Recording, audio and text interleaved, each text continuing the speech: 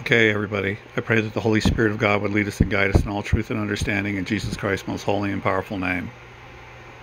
I have a message today from our sister Julie Whedbee from I'm calling you now.blogspot.com. These are the keys to transformation. Yahushua's Holy Spirit has expressed to me to remind his people of his urgent instructions. All who are followers of Jesus the Messiah must very carefully examine every shred of teaching or prophecy that you accept as truth. Just because something sounds good, holy, and believable does not make it so. Just because a person is popular or posted all over the internet does not mean they are hearing clearly.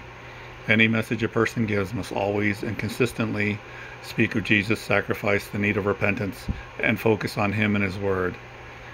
The only way to know truth from deception is to know the Word for yourself, because it is in this way you can know or be intimate with Jesus Christ. His holy Word is pure truth, and anyone speaking anything but this, or even a mixture of it, is to be avoided. There are so many voices now saying they have heard from the Lord. Many, many deliver mixed messages because they read and watch so many others that they also hear from the Lord that say that they also hear from the Lord, and this only serves to serves to engage the mind. The body of his church can be easily confused and very distracted by all these different messages. Jesus Christ strongly recommends that each of his children study the scriptures as often as possible so his Holy Spirit can write his words upon your heart. His Spirit will also give you the discernment you need when you are obedient in this so that you will not be swept away in a world that has gone crazy. Pray about fasting from the internet and looking at anything prophetic until you have disciplined yourself to immerse in the Word of God, learning the deeper meanings of His holy Word will help you immensely rather than searching the internet for a word from man. Soon enough, we will not have the internet to get a word from anyone from the Lord, so it is imperative that you learn to receive from Him yourself. Things are changing so incredibly fast, and Jesus Christ is urging us to be prepared. The word and abide in the word and abiding in him is our only hope. When all else crumbles, we've been taught and warned, and we need to obey. Tomorrow is never guaranteed. Please pray about seeking Him more earnestly, spending time less in the world and on the internet, and more time learning of Him and in His Word. He does not disappoint.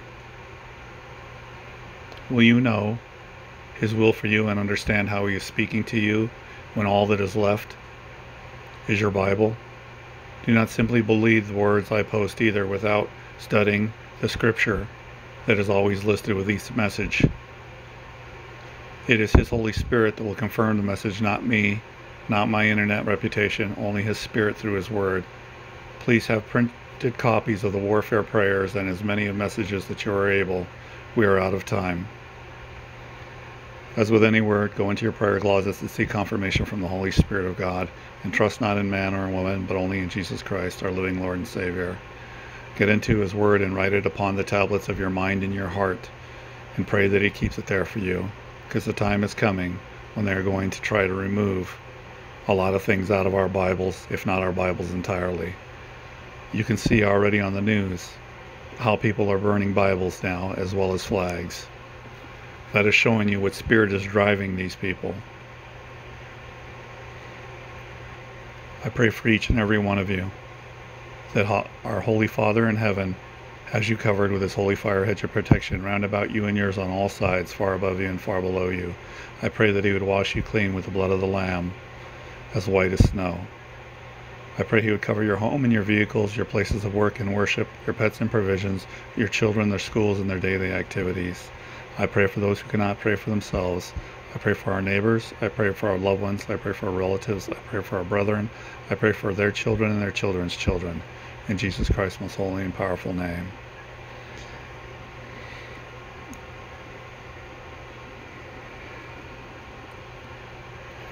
I am the door, the only way, the gate through which you must enter and to reach my kingdom. The door means that there are keys given, but only those who walk with me. Mysteries will be revealed to those who walk in obedience.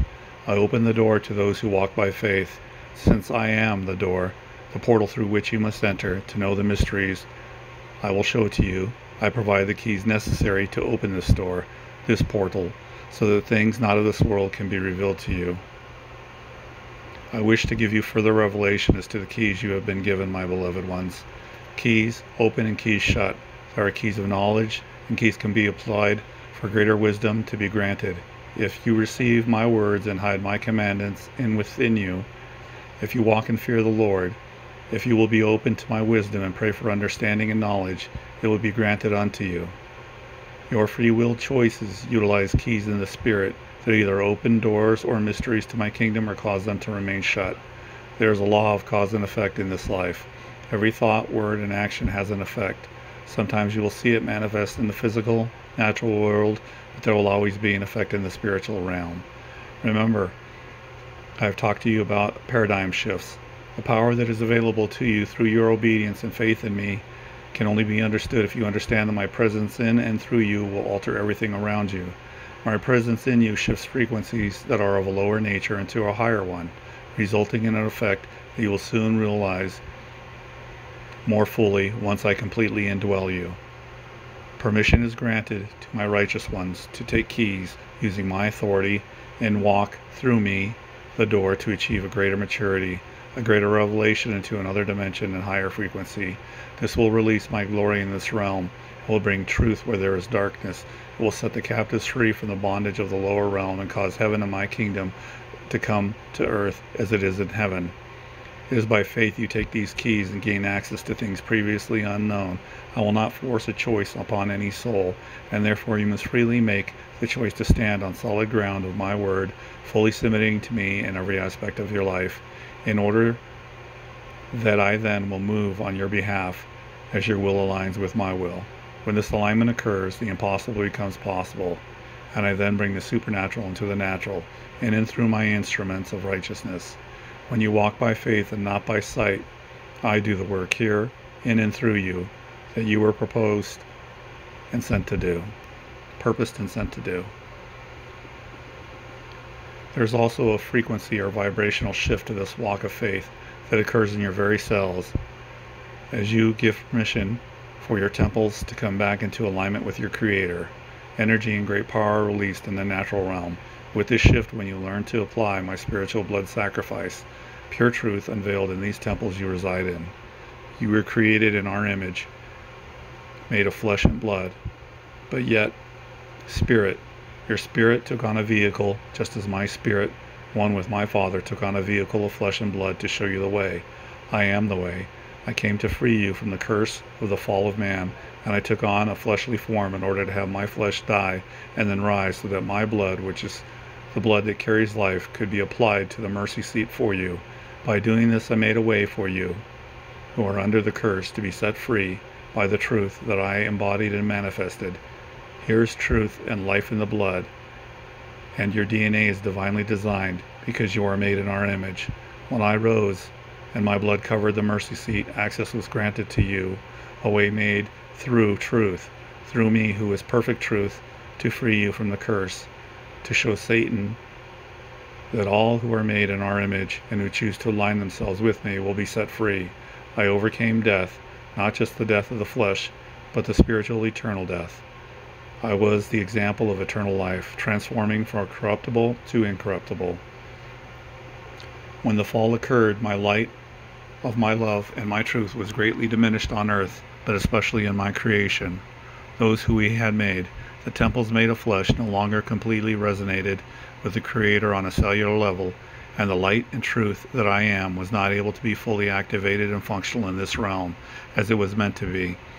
There was a corruption, and because of sin, this prevented man from operating to his fullest potential.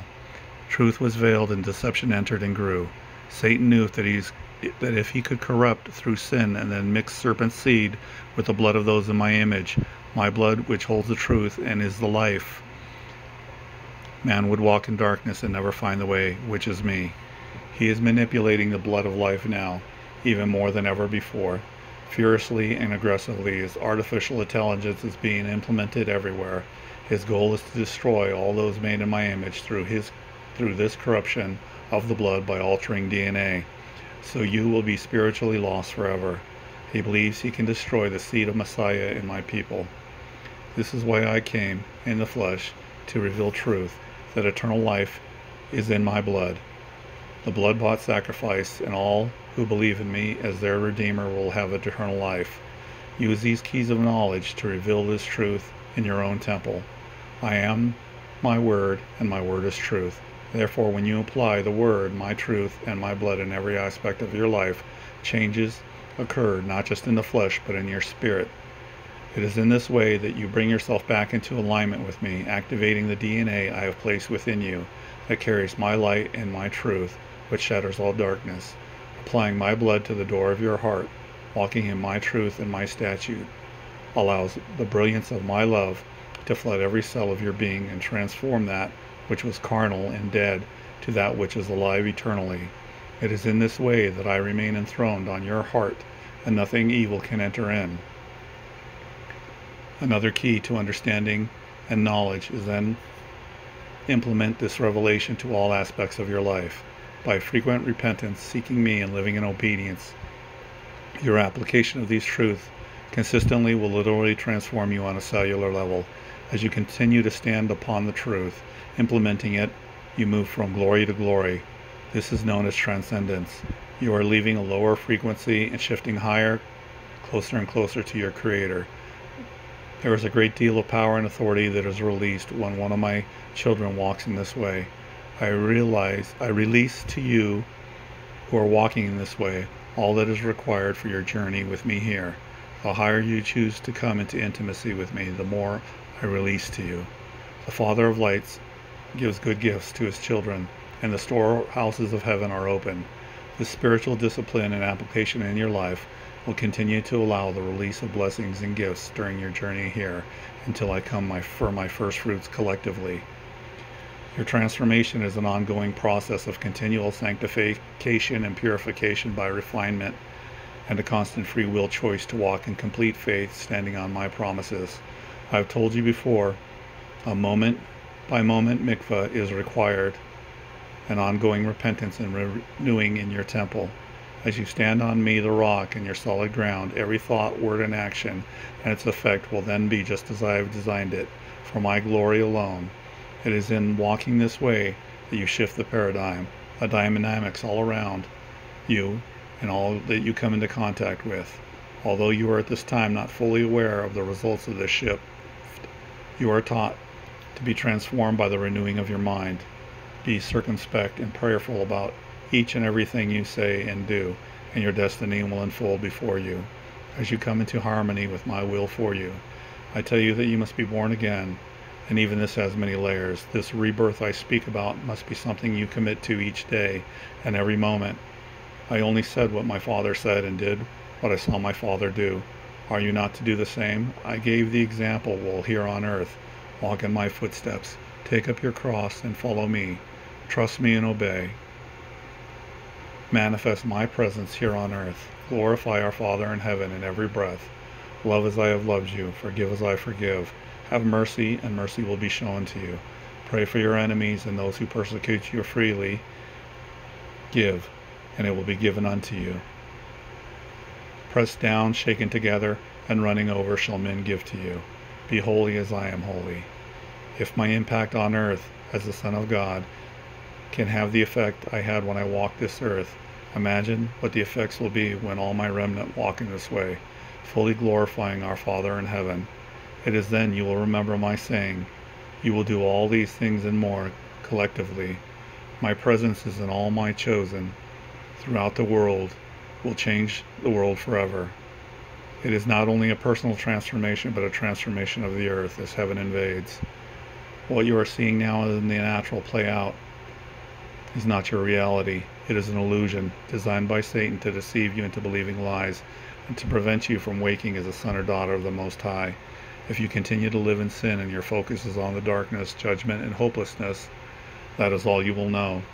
Continue to commit sin and you are a bondservant of sin. So you see, when you choose to serve me with all your heart, soul, mind, strength, and faith, this allows the use of the keys I have given you to then be able to perceive a better way, my way, my design for all that is happening, all that I allow. My remnant have their complete focus on me in the fulfillment of my word, and therefore are looking towards the things of heaven, of home, and not of the things of earth, which is soon to pass away. My desire is that all would be filled with the joy and peace I give in the knowing that you are a generation which will soon see my return. I will bring glory and revival in the hearts of my people, and the darkness that I will allow now to rule over the lands will only be permitted for a short season. Then the whole world will know, every knee will bow, and every tongue confess that I am the Lord. You will see this day and rejoice, as the ending, for my beloved is not one of despair and hopelessness, but rather a transformation into a new beginning, the eternal shift from mortal to immortal, flesh to spirit, as I move you from glory to glory. I cannot stress to you enough. Be so very careful what your eyes see and your ears hear, as fewer and fewer across the earth speak my truth. The darkness will continue, as I said, for a time, but truly, I tell you, I am about to do something in your days you would not believe if I were to tell you. I will set the world on fire with my love manifested through you, my chosen ones. You will run and not grow weary. You will see rewards for your faithfulness. You will have recompense, and all the enemy of all that the enemy has stolen from you, and I will heal you and prosper you. You will see your enemies defeat as you perform signs and wonders in my name.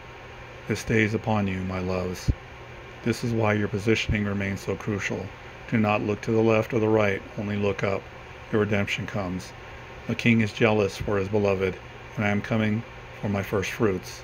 While judgment by famine, pestilence, disease, war, and the beast system rage all around you, I will hide you in the shelter of my wing. My angels surround you on all sides, and no harm will come. To my sealed, my anointed ones, my grace is enough for you as preparing you for what is here now. Pray to walk in your full measure of faith, and for wisdom discerning what I am speaking to you, and it will be given. Pray to be used mightily, and it shall be done. Greater is he that lives in you than he that lives in the world. Although it appears that the enemy is prevailing, there is a reason that this is occurring. From the days of John the Baptist until now, the kingdom of heaven suffers violence, and the violent take it by force. It is time, too, for my remnant to take their full authority and position in me and use the keys which I have provided. As I have said before, there is a great separation occurring as the winnowing is taking place. All those who have refused to obey me and seek truth, which has always been available, will now be separated from those who are closest to my heart. This is my design, so do not lose heart. The key is your perspective. Set your mind on the things above and not on the things of this world and watch what I will do. Truly, you are in a season like no other, and you have been chosen for this time of now. Walk with a faith that moves mountains, and you will receive the crown of life. My kingdom is not for the faint of heart. My kingdom is for the overcomers, the strong, the courageous in spirit, who worship me in spirit and truth. It belongs to the meek and the humble, the contrite of heart, and the servants. For it is you who the world scorns and rejects, ridicules and mocks that will rule the nations as kings and priests. I will bring the haughty low, and the low I will raise to positions of honor. I will bring recompense where it is due, and truth will reign. So rise up, my men and women of valor, rise up and use your keys. It is time. Jesus Christ, Yahushua, HaMashiach, our risen King and Savior. Glory to glory to our God in heaven. We praise his holy name. He is the door, that if any man shall enter in, he shall be saved. All glory to God. We praise his holy name. Baruch Hashem Adonai. Blessed be the name of the Lord God. Amen and amen.